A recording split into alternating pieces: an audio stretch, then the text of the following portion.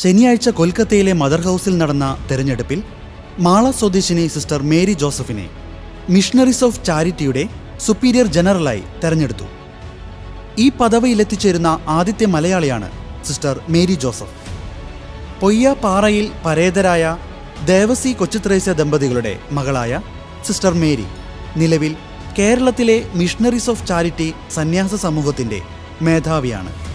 ആയിരത്തി തൊള്ളായിരത്തി തൊണ്ണൂറ്റിയേഴ് മുതൽ രണ്ടായിരത്തി ഒൻപത് വരെയുള്ള കാലഘട്ടത്തിൽ മദർ തേരസയ്ക്ക് ശേഷം സന്യാസ സമൂഹത്തെ നയിച്ചത് നേപ്പാൾ വംശജയായ സിസ്റ്റർ നിർമ്മല ജോഷിയാണ്.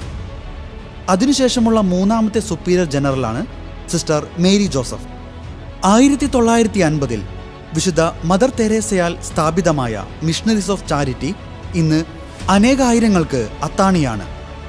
ഭാരതത്തിലുൾപ്പെടെ നൂറിലേറെ രാജ്യങ്ങളിൽ നിസ്തുല സേവനമനുഷ്ഠിക്കുന്ന മിഷണറീസ് ഓഫ് ചാരിറ്റി സന്യാസിനി സമൂഹത്തിന് കീഴെ ആയിരക്കണക്കിന് രോഗികളും നിരാലംബരുമാണ് പ്രതീക്ഷയോടെ കഴിയുന്നത്.